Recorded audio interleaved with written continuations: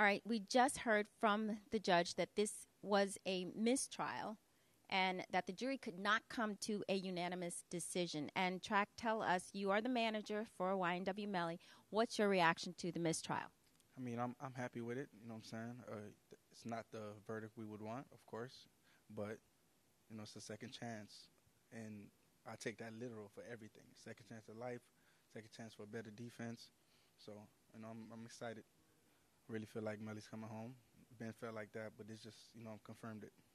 Have you had a chance to talk to Melly since he's been during this trial, and whether or not you know what his reaction would be to a mistrial?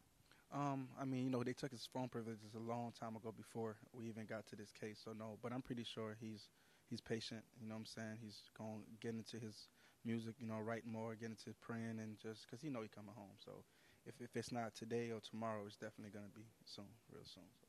Have you had a chance to talk to any of the other family members since the mistrial was called, or do you know how they would feel about it? Um, no, because it just happened. So you know, I'm, I'm pretty sure like everybody would feeling the same way I feel. You know, as long it's not a guilty verdict, you know what I'm saying? It's it's way more more ensuring than than that. So you know, we're pretty much just ready for the next go round. All right, thank you so much for taking the time to talk to us today. No, no problem. You have a good day. Melly coming home 2023.